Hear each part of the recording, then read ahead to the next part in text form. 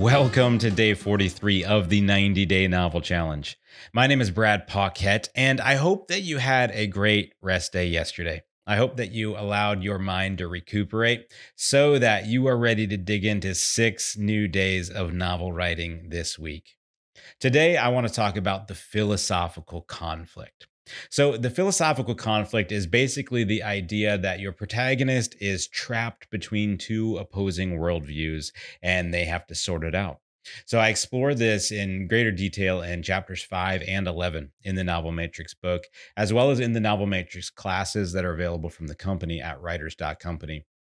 So I encourage you to go deeper on this topic because there's a lot more to be said than we're going to do in five minutes right here. Um, but again, the, the idea is that the protagonist is caught between two specific points of view. So that as the protagonist is dealing with an external conflict, they're up against some sort of adversary, and they're dealing with an internal conflict. They have two competing desires inside of their heart that they have to sort out.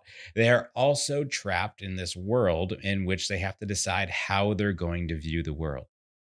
Now, there are a number of ways that the philosophical conflict can make it to the page but the most common are for the guide character and the frenemy character to represent one viewpoint each.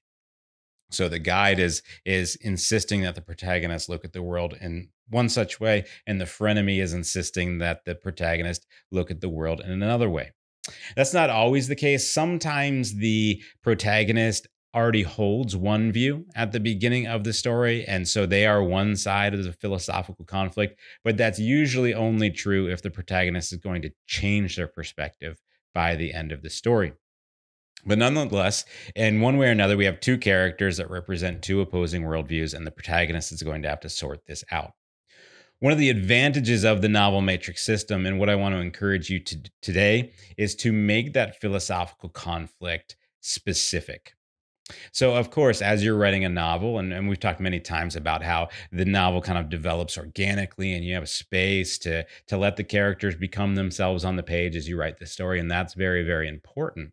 But it can sometimes create a barrier to effectively developing themes, values, and ideas that you want in your work because as characters, like human beings, we hold so many different ideas.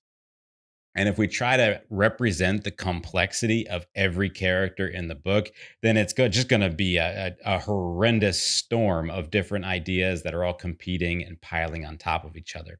So, the novel matrix system, by forcing you to define the philosophical conflict, forces you to make it specific.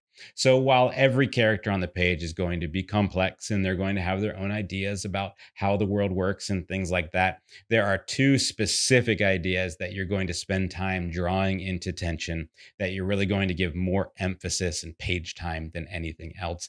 And that's going to allow your reader to one, attach to them, and then two, see how you resolve them, which is where you have the opportunity to, to present how you think the world ought to be it's important that those ideas are specific.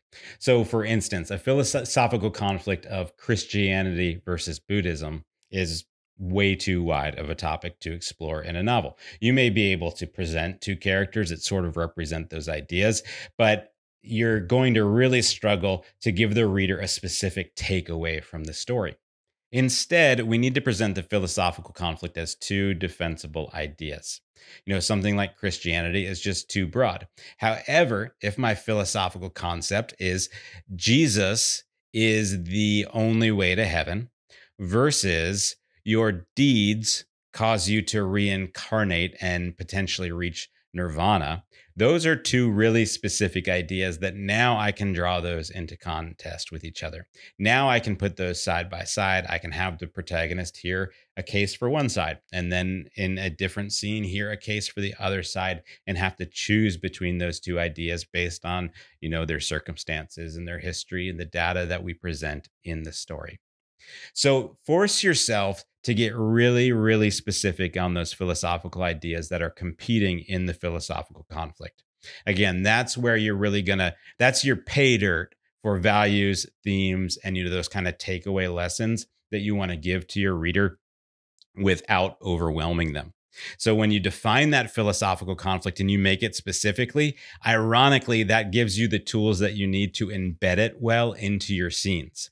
But if you just have a hogwash of a bunch of different ideas and every character is complex and bringing different ideas to the page, then in order to promote any specific kind of takeaway or lesson from the story, you're going to have to just layer it on. You know, you're going to have to hit that thick to make sure that it rises above all the noise in the story. So by failing to define it, you're actually rendering yourself at the mercy of preachiness to get your point across. So as you're moving through the story and you're maybe, you know, 25,000 words into the story at this point, keep your eye out. Make sure that you're giving those characters that you've assigned philosophical ideas to, make sure that you're giving them time to come forward on the page to present their case and to do it well so that you can effectively choose a winner and promote that to the reader and show them why one worldview is dominant above another. Keep your eye out for that. And of course, your assignment is to write for one hour today and to get 1,000 new words on the page. So get your butt in the seat, keep your eye out for that philosophical conflict. And until I see you tomorrow, happy writing and be blessed.